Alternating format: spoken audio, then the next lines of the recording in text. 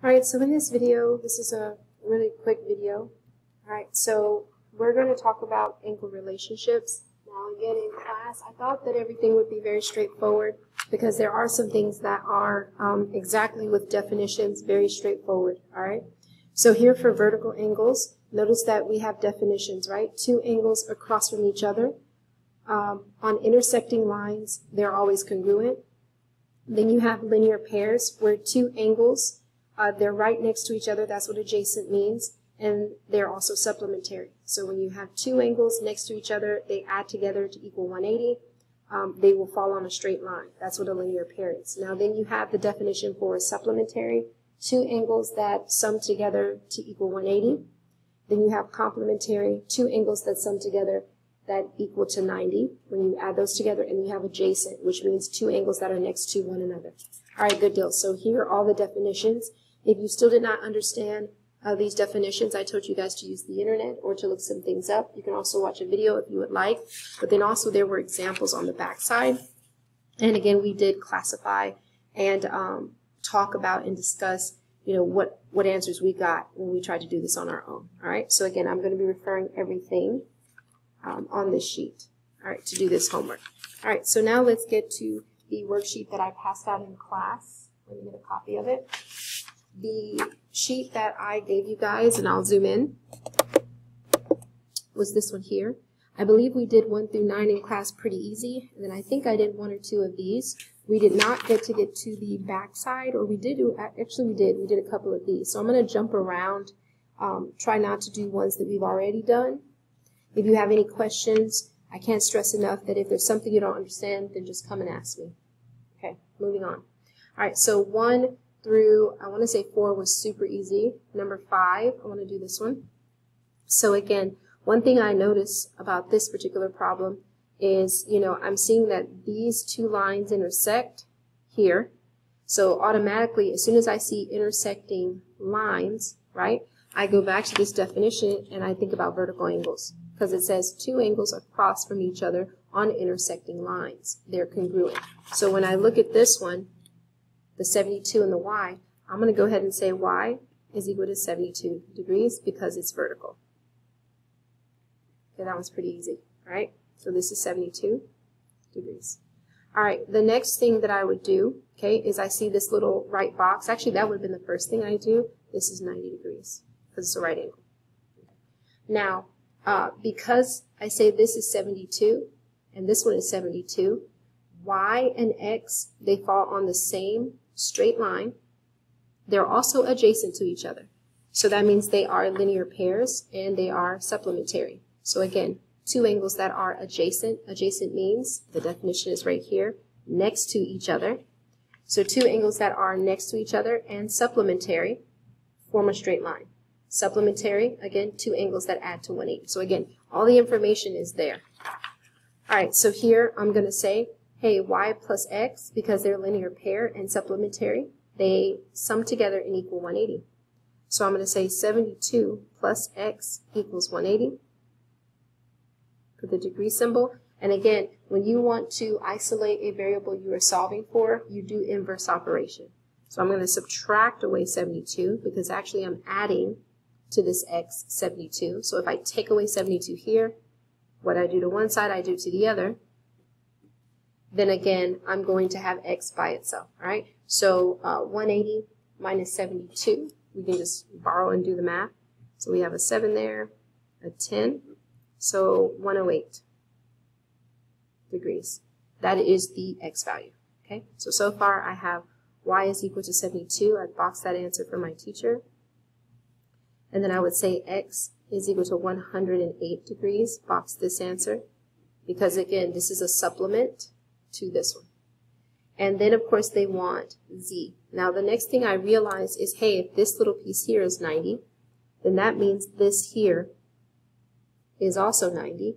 Everybody see that? So when I look just in this one little quadrant here, y'all see that? Best we can. So we have that these two sum together as complements. They sum together to equal 90. So if I do 90 minus I take away the 72, I can figure out what this little piece for z is. So I'm going to borrow, make this an 8, make this a 10, so it would be 18 degrees. And again, to check yourself, you can say, hey, does 72 plus 18, does that equal 90? And yes, it would. So the two or three solutions now, I'm going to squeeze this in, z is equal to 18 degrees. And another way that you could really check this, if you wanted to, is you could sum all the angles in this problem and see if you get 360. So on the calculator, I'm going to do that for you real quick. Okay, so I'm going to take the 72 plus x we said was 108, so I'm going to add that in, plus the 72, and again I'm just coming this way uh, clockwise, okay, 72, plus we said that z was the 18 degrees, and then I have this 90. And there's the 360, okay? Because again, in a full complete circle is 360, so that works. All right. All right, so moving on, um, I want to say 6 through 9 was fine. You're more than welcome to um, ask me a question. I'm just going to do two of these. So now we get into just a little bit of vocabulary with all three I'm sorry, all four of these are different. But this one says A and B are complement. So as soon as you see complement or complementary, you might as well just go ahead and write, hey, that's something with 90 degrees. As, you, as soon as you see a word 1 and 2, angle 1 and 2 form a linear pair. Refer back to this, your notes. And again, right there, linear pair fall on a straight line. They are adjacent and supplementary. So that means that the two angles sum to 180 because they're supplementary. So right here in linear pair, I would tell myself, hey, something with 180 degrees is involved. Okay, just looking at some vocabulary. Uh, angle P, angle QR, supplementary. There's another 180, 180 degrees. And then vertical means they're equal and congruent. So if I highlight this word right above it, we can put equal. And before I get into solving uh, these two out of the four, then again, here's an example of vertical angles. So right here is 43 and 43 because they have intersecting lines and they are across from one another. So this one is 43 degrees. And then, just like I showed about uh, linear pairs, where they are adjacent to each other, fall on a straight line, we can solve for x by, again, if these two angles sum together to equal 180, then if I do 180 minus the 43, it will give me x. Okay, so here I'm going to borrow for 7, 10, 137 degrees is our x. And again, you can add those together and see if they're 180. All right, so those are just a couple of quick things, but let's try some of these. All right, so it says angle 1 and angle 2 are vertical. If the measure of 2 is 105, then 1 is 1. So again, if they're equal to each other and 2 is 105, that means angle 1 is also 105 degrees. And again, I move quick in class because some of it is just really self-explanatory. All right, this one, angle A and B are complements or complementary, meaning they sum to, use the sheet, 90 degrees. Okay, so if A plus B, angle A plus angle B equal 90 degrees, then if the measure of A is 42, do your substitution, you're looking for angle B. So you would basically, again, subtract the 42 away from here, move it to the other side because you're trying to figure out what B is. So you do inverse operation. So I'm going to do on the side 90 minus 42, borrow. A lot of this does not require a calculator. Okay, So for this one, it's 48 degrees. Okay, that should be pretty easy. So angle B is 48 degrees. Okay, and again, if you want to use the calculator after you get some answers, is you can check yourself. Hey, is 48 plus 42 because these are complements of each other. They should sum to 90. Do I get 90? Yes, I do. Okay, so those are easy. Okay, all right, let's jump around and get into more algebra, which, again, I don't know what the struggle is with algebra, but uh, again, come to tutoring and take tutoring serious, and then uh, I can definitely help you to understand if you need a review. All right, so if I look at number 10, we have, and I told you guys in class, get in the habit of either using your finger or your pen or pencil, mainly your pencil, and just trace over what they're talking about. They go in order. So PQT, so P through Q to T. So they're talking about this angle here. It's the expression 3x plus 47. And the measure of angle SQR. So here's S, here's Q, and then here's R, which is going this way. The expression is 6x minus 24. Sorry, 25. I was going to write 25. So now I notice, hey, there's intersecting lines. These two angles are opposite of each other. So when I stare at this, guys, I think vertical. So I would tell myself using vocabulary, vertical angles. And they want to know, find the measure of SQR. So they want this one right here. Okay, so if they're vertical, and you can still use the sheet or the internet, vertical means two angles across from each other on intersecting lines, and they are always congruent. So if they're congruent, that means those two expressions they gave me, I can set them equal to each other. So 3x plus 47 is equal to 6x minus 25. So let's solve for x, okay? So again, uh, in the algebra class, I teach this. I wasn't your algebra teacher. Letters left, numbers to the right. So I'm going to move the x term that's over here on the right, move it over to the other side. Okay, so I'm doing my letters to the left, but before I move any term from one side of an equal to the other, I have to do inverse operation. So there's a positive 6x, I got to put a minus. And I'm putting it right under the same term. So 3x minus 6x is negative 3x. Drop the 47 down. And then I'm also going to set it equal to negative 25 minus 47. I'm moving my numbers now, my constants, to the right side. Change the sign. So now I have negative 3x is equal to, and we're going to add those two together. Okay. So now I have 7 plus 5 is 12. Carry the 1, 6, 7, negative 72. When we add uh, negative 25 plus 47, you, get, you just have to know that two negatives you have to add them and keep the same sign. All right, so because we now have um, the negative 72, we're not done. Divide by negative 3 to both sides, okay? And I want to say for this one, I mean, if you want to use a calculator, we can divide it out. 24. And it's going to be positive because I know a negative divided by a negative is a positive. So your x is 24 not degrees or anything like that. So after we do this, I'm running out of room. I'm going to be on a sheet of paper next. So x is 24. Now you take that 24, and because they wanted the angle measure of SQR, plug in the 24 right here. So for the final step, 6 times 24 minus 25. Let's see what that equals to. We can grab the calculator. 24 times 6 and then subtract 25 away. So we get 119. Okay. Now the cool thing is, once you sit back and you say, okay, I believe and I feel and I did my work, angle SQR is equal to 119 degrees.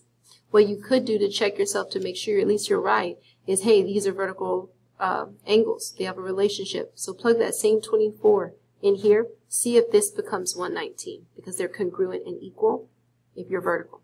So I'm going to do 3 times 24, add 47 to it.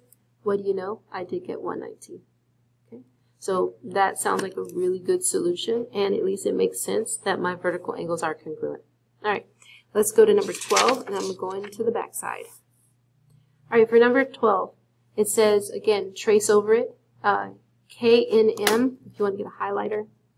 So K to N to M, this angle here, has the expression 8x minus 5.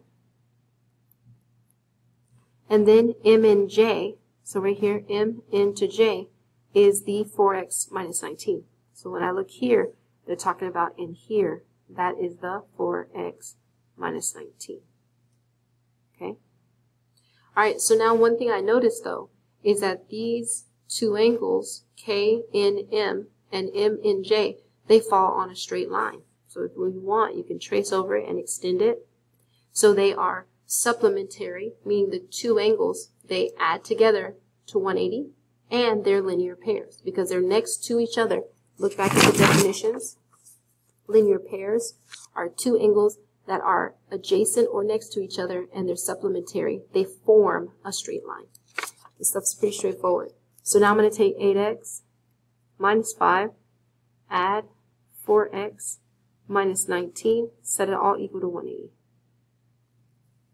Okay. Now I'm going to combine like terms, doing algebra. So 8x plus 4x is 12x. Negative 5 minus 19 is going to be negative, negative 24, I want to say.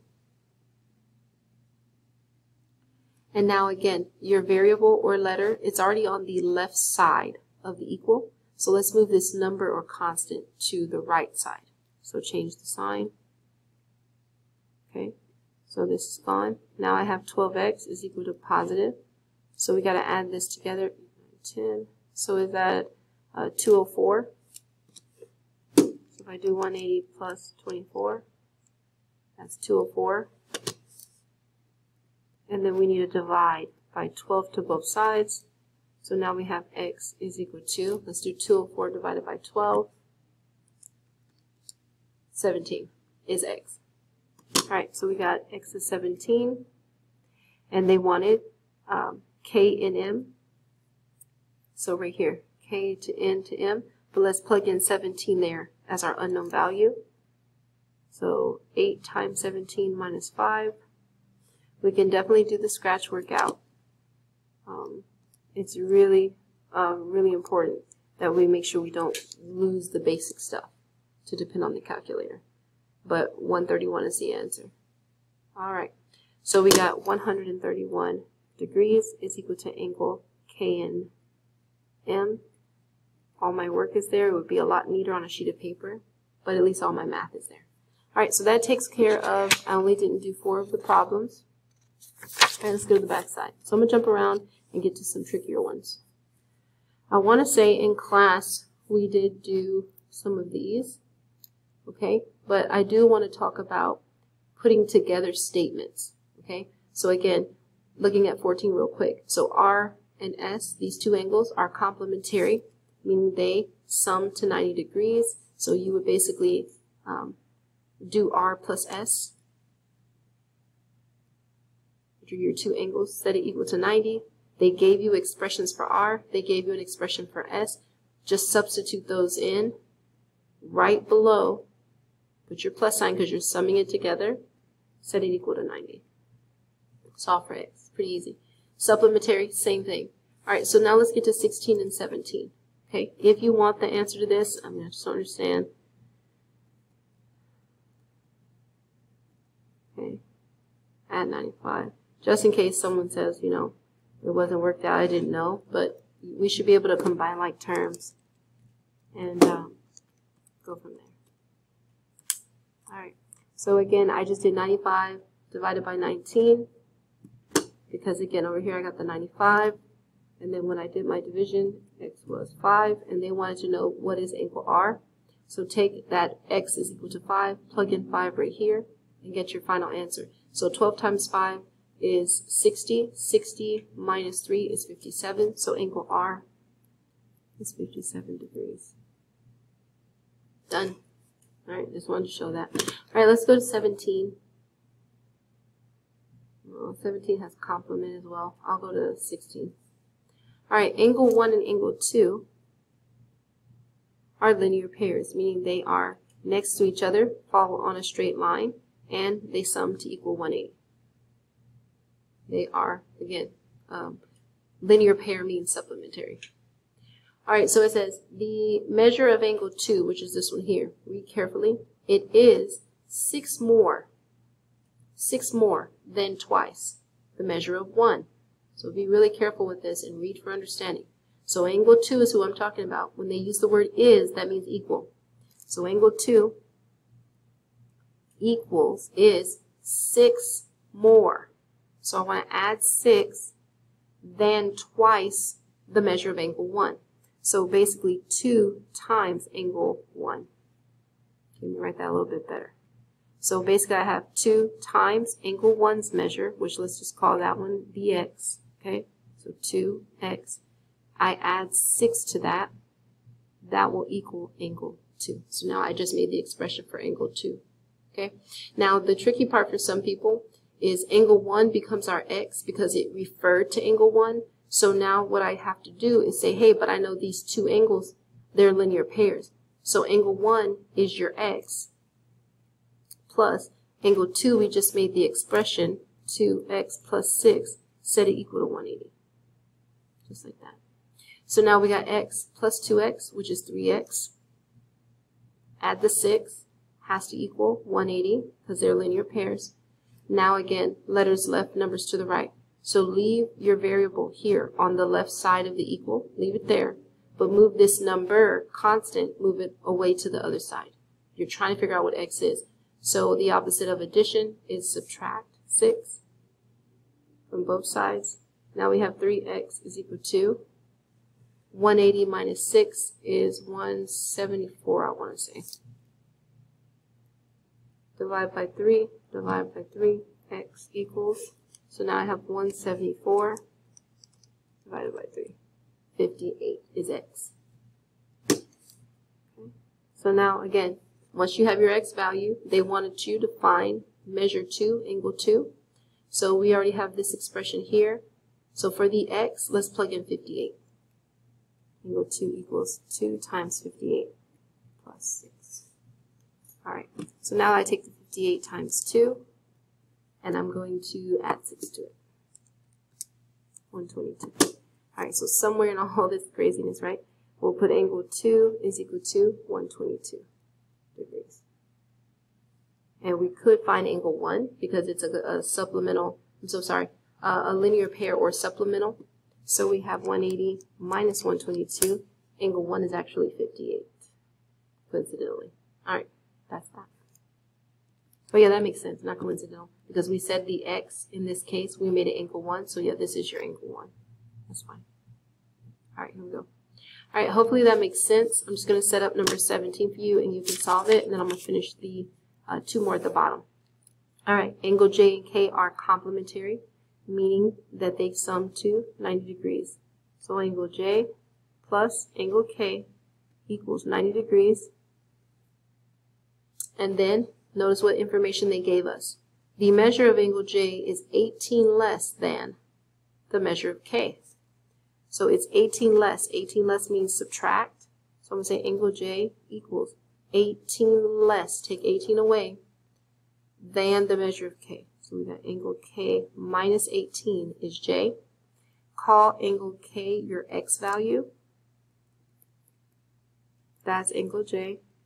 And then again, once you have that expression right here, you're going to plug it in for J, and then you know K is X, and then solve for uh, X. So X right here, X minus 18 plus K is X equal to 90 degrees. Combine like terms, X plus X is 2X minus 18 equal 90. Add 18, add 18. So now we got 2x is equal to 108. 2x is equal to 108. And if we divide that by 2, it should be 54. So let's just see. 108 divided by 2, 54 is our x. I just divide it by 2 to both sides. Okay? Now, we said x was our k value, so it said uh, find the measure of each one. So this is your k, because angle J was referencing K. Just replay the video of what I said.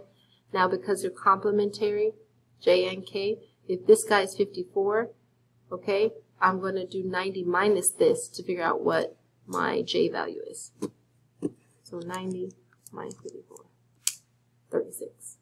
Okay, so just to be clear on this one, angle J, um, angle J is 36 degrees and angle K is 54 degrees.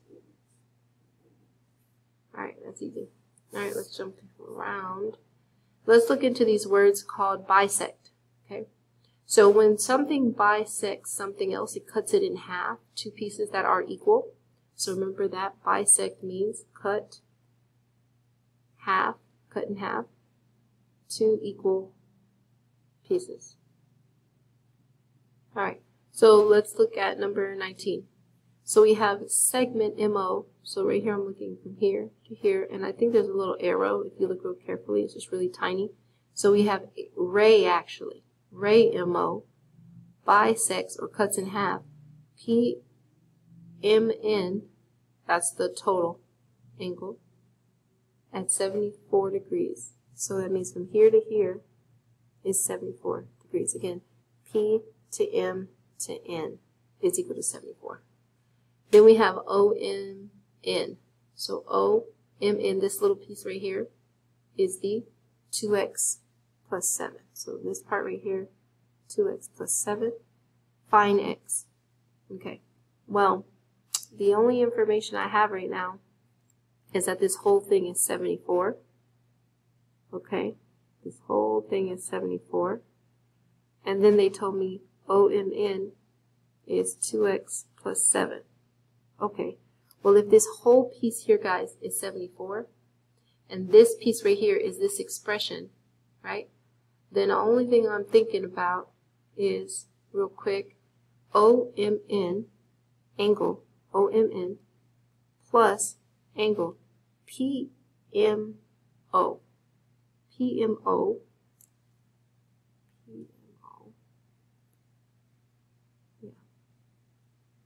it must equal 74 degrees. And I'm going to read it again just to be careful. So we know that ray, MO, this one here, it cuts this in half, this total, right? And uh, it bisects and cuts in half PMN. Now PMN is 74. The whole thing is 74. This piece here is 2x plus 7. So you know what I could do? I could say if this whole thing is 74 and I want to cut it in half, just half in that. Y'all see? So let's do 74 real quick, divided by 2, just to figure out, hey, how much is this piece here? How much is this here? Because they're basically equal. So 74 divided by 2 should get 37. So that means, in my mind, if this is 37 plus this is 37, it's going to add to 74.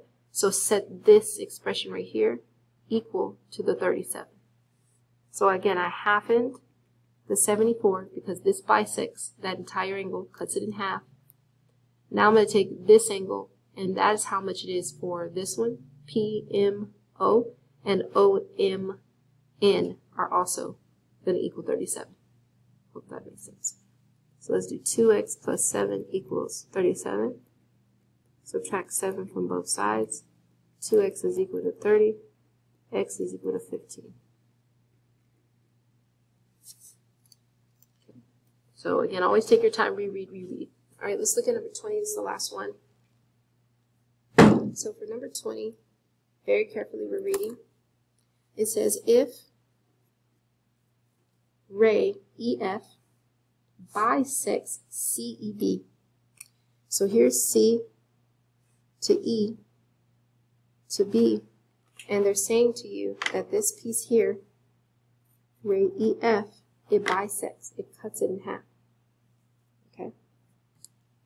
Cuts it in half.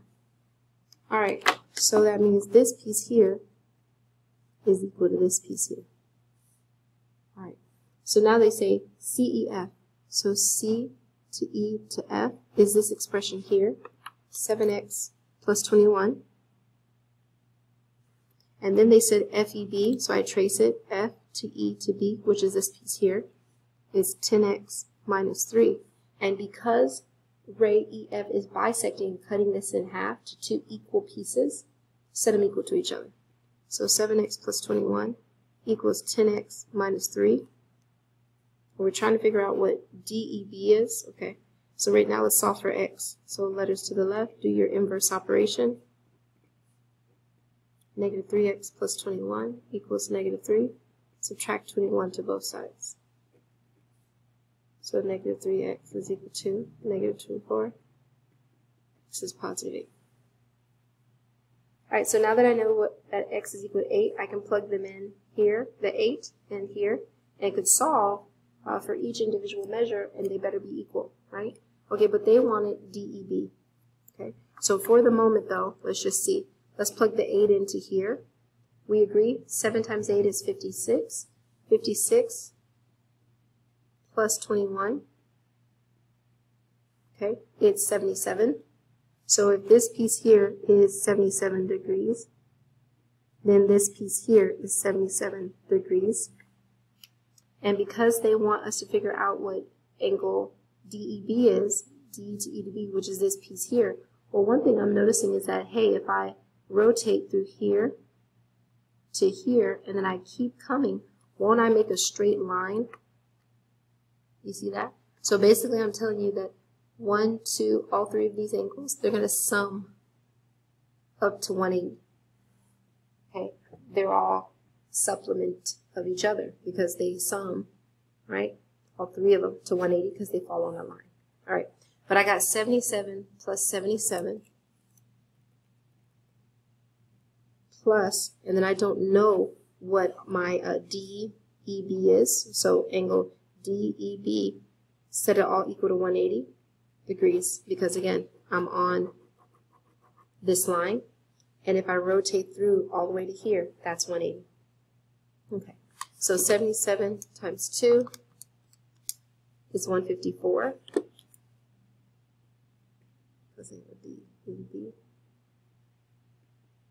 And then again, I'm going to subtract 154 from here to the left to the right, and that's the answer. So, minus 1. So positive 26 All right, so I hope that helps. It's a long video. But again, I did go through them. And again, I'll take questions when I see you guys. But it's pretty straightforward. Now, the only thing I wanted to show is I saw this. Here's the homework. There's front and back. But there were some that were a little bit tricky, I think. Like, for instance, number 16. Notice how it's talking about x and it's talking about y, and they say find the values of both x and y. Okay, just like even on number 15. So remember, be really strategic, but I'm going to get you started. Label what's there. So this is 90 degrees here because of the right angle. And then um, I would tell myself, hey, you know, this piece here, under here, that's the 5x minus 17. And then this piece here is the 3x minus 11. And then what do you notice? They're both sitting on the line. They're both linear pairs. So if I do 5x minus 17, add 3x minus 11, equal it to 180, I can solve for x and those angles. So 5x plus 3x is 8x. Negative 17 minus 11 is negative uh, we've got to add those, right? So negative 28 equals 180. Okay, we're going to solve for x. So add 28. What I do to one side, I do to the other. That's no longer there.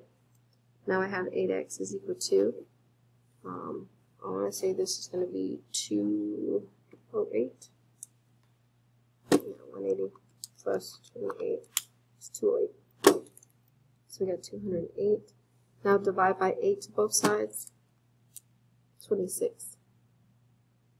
Okay. Divide by 8. One more time so you can see it. By 8. 26. So I got x is equal to 26. Okay, so now I got my x value. Alright, so now it gets a little interesting, right? Because it's pretty much like, hey, how can I figure out this y value? Okay, so let's see. Um, just so we know uh, again, there's always one way to, more than one way to go about doing this. But let's see what we would do. So in my mind, this is what I'm thinking, is uh, these two are intersecting lines. Do you guys see this? See how X with this line here? Okay, again, there's no intersection happening here, okay? But there's an intersection with the straight line and then this slanted one.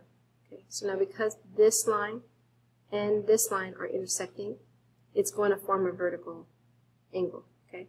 So that means if uh, this right here, I can solve for this one, it's congruent and equal to this one here.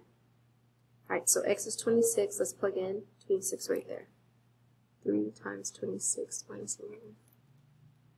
So now we got 26 times 3 minus 11, 67. So 3 times 26 minus 11. So this is 67 degrees, is this piece here. So that means this one is 67 degrees.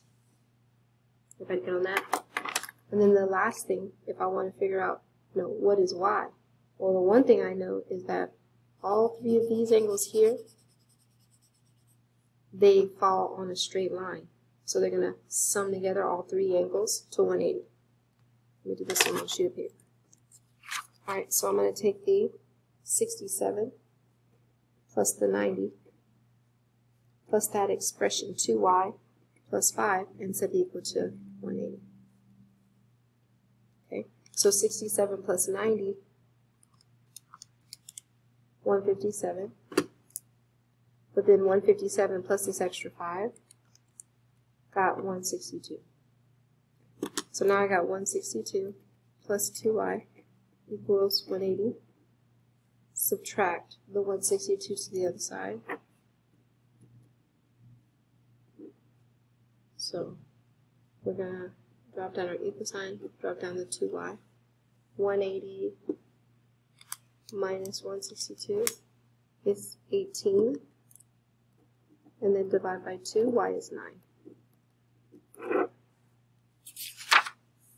Alright guys.